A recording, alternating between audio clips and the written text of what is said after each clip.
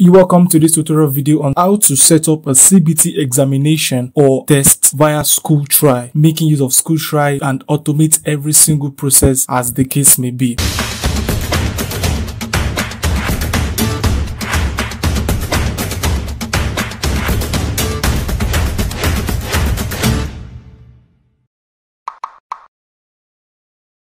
Alright, so if you're just checking on this video for the first time, ensure that you click our subscribe button and ensure that you click on the notification icon as well so that you can be notified about further videos as they roll out. So basically the first thing you need to understand is that as an administrator or as a teacher, you can initiate a CBT examination or test at any given time, meaning you can actually give an examination as a teacher or as a school administrator. And of course, you don't have to mark this examination. Every single thing is automated. All that is required is for the questions to be imputed and the software automatically marks and grades each student. As a matter of fact, there is a special feature we're going to be showing you in this tutorial video, which is malpractice check. That is, if a student attempts to do anything outside this examination while the examination is taking place, the teacher or administrator will be notified as this occurs during the examination. So of course, this also boosts the rate of examination malpractice with the software solution. So here is how. Now the first thing you need to do is just come to the lower left corner here. Just three options from the tech support, manage SMS, partner due payment and manage CBT. Once you click on manage CBT, you're going to be met with a screen that looks exactly like this. So once you see this screen, it simply means as a matter of fact, there are existing CBT examinations that has been initiated. Some have been published and some are drafts. So let us show you how you can can manage and set up a CBT examination or test. This process is the same for teachers and also for school administrators. So let us move to the actual step right now. All you need to do is come to the top right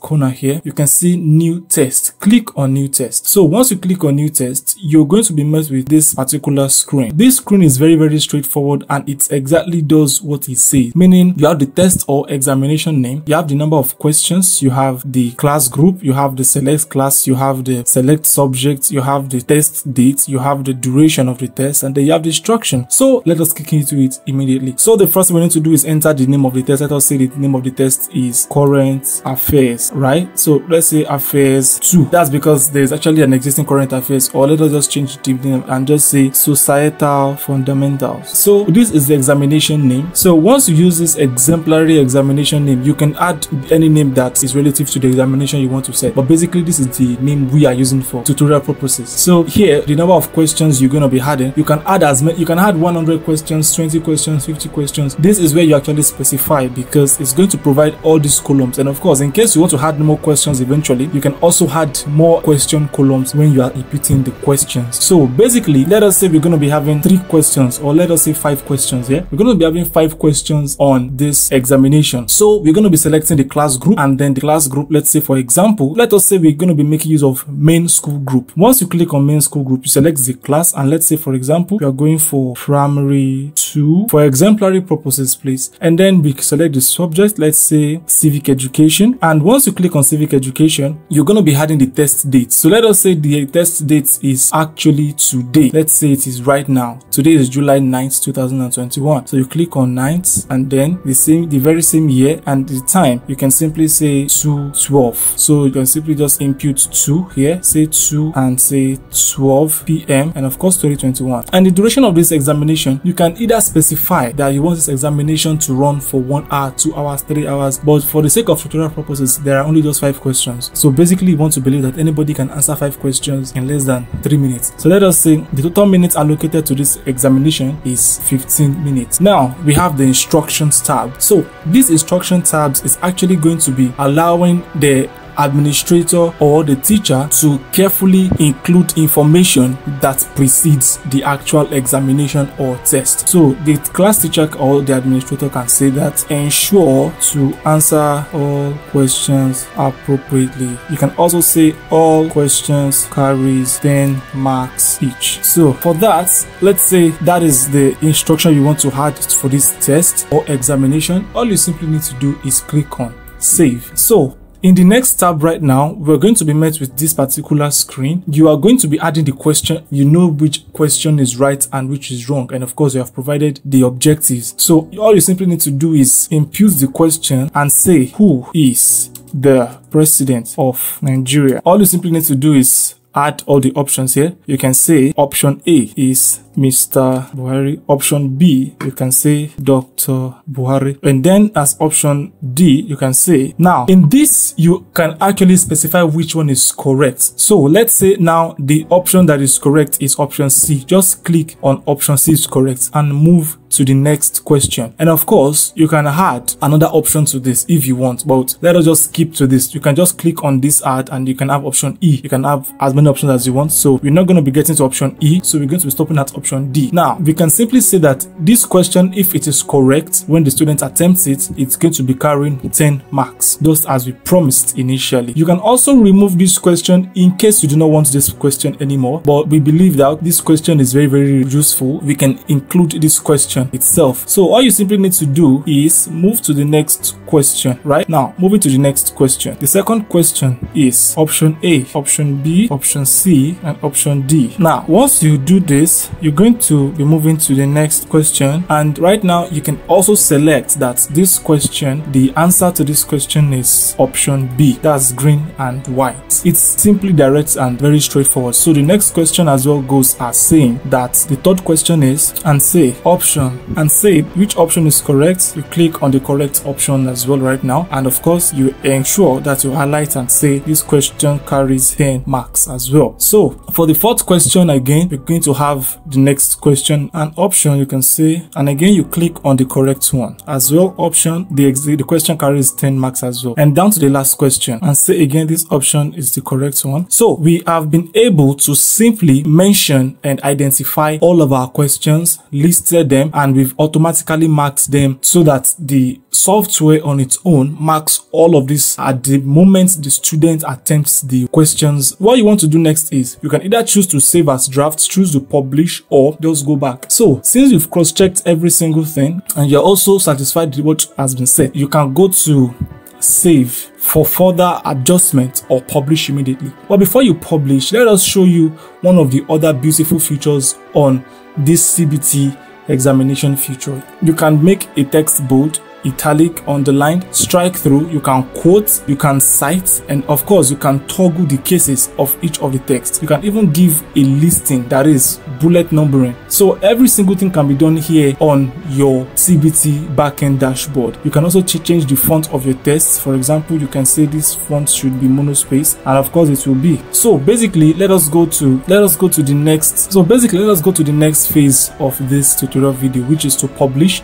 and then have a student at attempt this question and as a teacher you're going to be able to see how it looks like on the other side. So we click on publish. Now the moment you click on publish you're going to be met with this information that says questions published successfully. Then automatically you have this examination as an active examination and you can even choose to withdraw or not. Now what you're going to do right now is very very straightforward. We are going to be attempting all of these questions and see how these questions look like on the other side for a student. And of course if a student actually breaks breaks the rules of this examination, we're going to see how the teacher or, or the administrator receives the information that this is what the student has done. So let us proceed. So let us proceed to the next phase of this tutorial video, which is to attempt the examination or test. So here we go.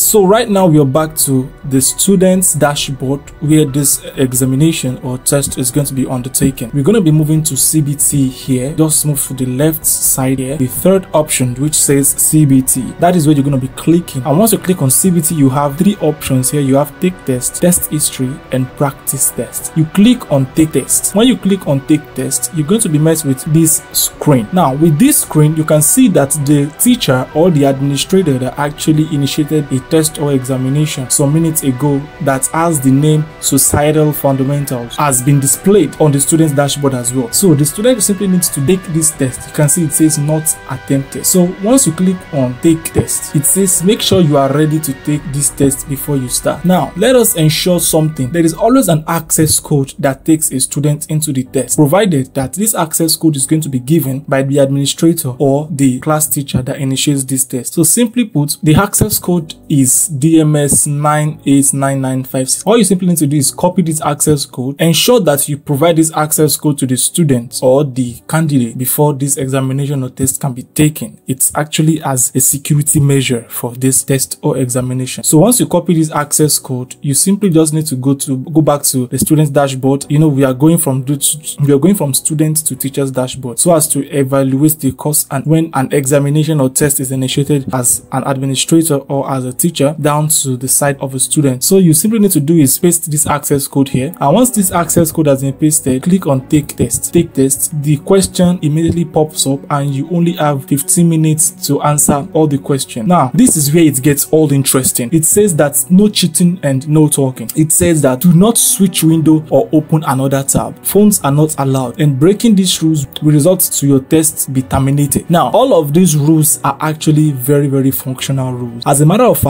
when a student breaks either one or two of these rules, the student will be able to complete the test, but will give a report to the teacher or the administrator that this student has violated this, this, this rule. And we are going to be deliberately violating these rules so as to see the effect that it takes on the other side as an administrator. So here we go right now. You click on start test. It says the first question is how many days are in a week, right? We can see that the question that we initially mentioned and typed was who is the president of Nigeria? But right now we can see that it says how many days are in a week. It simply means that these questions are automatically reshuffled consistently over and over again. Let us go back to the attempt of this question. How many days are in a week? Seven. You go to the next or you're not through with this examination or test. You can flag a question so that you can remember to go back to it at any given time, even after you've proceeded. So let us proceed to the next question. Click on next. It says, how many states do we have in Nigeria? The question, the answer is 36. And then you click on next. It says, who is the president of Nigeria? Let us deliberately miss this question so that we can know that, okay, we know the answer is Major General Buhari. But let us, for example, say Sir Buhari. And then you again go to the next question. Now, I said I want us to violate a rule so that we can know how it looks like on the end. Now, let us switch tabs in case a student wants to be smart or wants to indulge in malpractice. Let us open another tab to quickly search for a question or anything. Now, once I click on this tab, I have automatically violated the first rule that says no switching of tab. Now, imagine now creating or writing that, okay, oh, expo for something or something, you create it, you open, that's another tab, you run to another site again, again, that's another error, that's another violation of the examination rule rule. Again, you jump on that site again. It doesn't say anything. Your question still continues. Your examination still continues.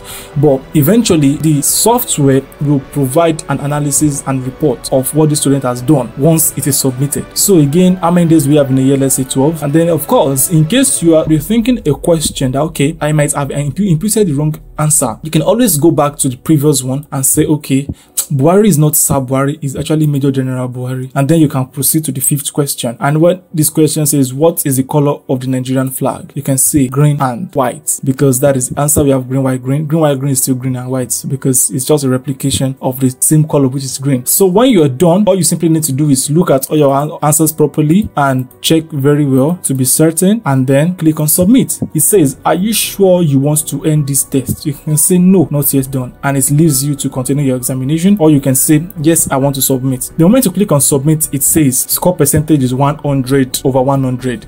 Question 1 is correct, question 2 is correct, question 3 is correct, question 4 is correct, and question 5 is correct. You click on end. The moment you click on end, it's going to take you out of the examination portal and it says finished. Now you click on take test again. Probably you want to attempt and see if it's going to work. Well, you can just again, if you have the access code again, input the access code and it says error. You have already taken this test. So you wait for the final result day. Now, let us go back to the teacher or administrator's dashboard to see the report that this test has given on the back end. Here we go. This is the examination that was initially set. When we clicked on it, it took us directly to the next phase. Now, this is an analysis of the examination. Now, it says test name, session, time. This is the information that we imputed initially. Then we have participant, the student that just attempted the examination or test. It says status, finished, score 50 over 50, percent 100 100%. It has automatically graded the student directly and malpractice window switch six times. The number of times the window opened when the students attempted opening another window over and over again, this software has recorded it and automatically has announced to the administrator that this student opened another window six times. Now, having said that, you will discover something that the teacher can actually choose at his or her own volition or the administrator that these students must fail this test, these students must take this test again or anything. But this software puts the decision to the hand of the teacher or the administrator. So basically, this is exactly how we're going to be wrapping it up on the SchoolTry's CBT Future. Ensure you subscribe to this YouTube handle. And in case you enjoyed this tutorial video, click on the like button and ensure to come back for more tutorial videos subsequently. Thank you